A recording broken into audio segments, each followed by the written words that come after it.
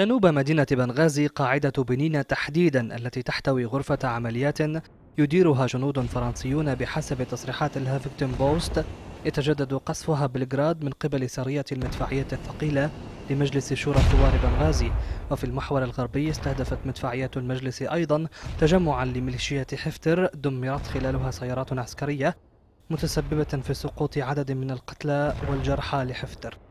ويستمر الطيران الأجنبي في القصف على منطقتي الانفوذا والجوارشا في محاولات لاستهداف تمركزات مقاتلي مجلس الشورى إلى جانب البراميل المتفجرة التي تلقيها طائرات حفتر العمودية ودون تسجيل أي تقدم أو محاولة لاقتحام مواقع سيطرة الثوار بالجوارشا كثفت ميليشيات حفتر دكها للمحور الغربي بقذائف الهاون وسط تأكيد مقاتلي المجلس إحكام سيطرتهم على نقاطهم بالمحور.